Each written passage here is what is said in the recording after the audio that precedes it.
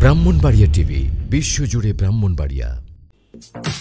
বাঞ্ছারামপুরে রূপসদ্বীপের জাতীয় শোক দিবস উপলক্ষে কাঙালি ভোজের আয়োজন।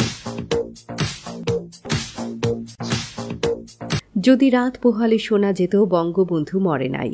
এই স্লোগানকে সামনে রেখে ব্রাহ্মণবাড়িয়ার বাঞ্ছারামপুর উপজেলার রূপসদি গ্রামে উপজেলা আওয়ামী লীগের সহসভাপতি ফরিদ উদ্দিন ও ইউনিয়ন আওয়ামী লীগের সাংগঠনিক সম্পাদক মিদন মিয়ার উদ্যোগে সোমবার বিকেলে রূপসদী জামাই বাজারে পনেরো আগস্ট জাতির পিতা বঙ্গবন্ধু শেখ মুজিবুর রহমানের সাতচল্লিশতম শাহাদাত বার্ষিকী উপলক্ষে দোয়া মাহফিল ও কাঙ্গালি ভোজের আয়োজন করা হয়েছে। এ সময় উপস্থিত ছিলেন উপজেলা আওয়ামী লীগের সহসভাপতি ফরিদ উদ্দিন ইউনিয়ন আওয়ামী লীগের সভাপতি দেলওয়ার হোসেন, সাধারণ সম্পাদক মফিরুল ইসলাম, ইউনিয়ন পরিষদের সাবেক চেয়ারম্যান মহসিন মিয়া, ইউনিয়ন আওয়ামী লীগের যুগ্ম সাধারণ সম্পাদক বকুল মিয়া, সাংগঠনিক সম্পাদক মিদন মিয়া সাজেদুল হক, উপজেলা যুবলীগের সাংস্কৃতিক বিষয়ক সম্পাদক বিল্লাল হোসেন, ইউনিয়ন যুবলীগের যুগ্ম সাধারণ এরশাদ মিয়া, বাবুল মাজি, কালা চান, মহসিন চান, নবী হোসেন, মমিনুল ইসলাম, সাধক কামরুল মুন্সি সহ রূপসদী ইউনিয়ন আওয়ামী লীগ ও সহযোগী সংগঠনের নেতাকর্মীরা উপস্থিত ছিলেন।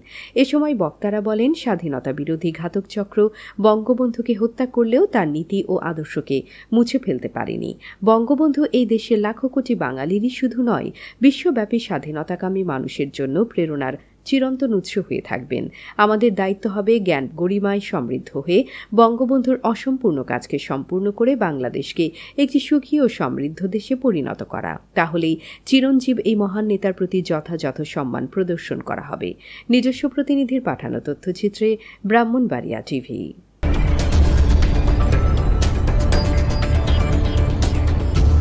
ব্রাহ্মণবাড়িয়া টিভি, বিশ্বজুড়ে ব্রাহ্মণবাড়িয়া।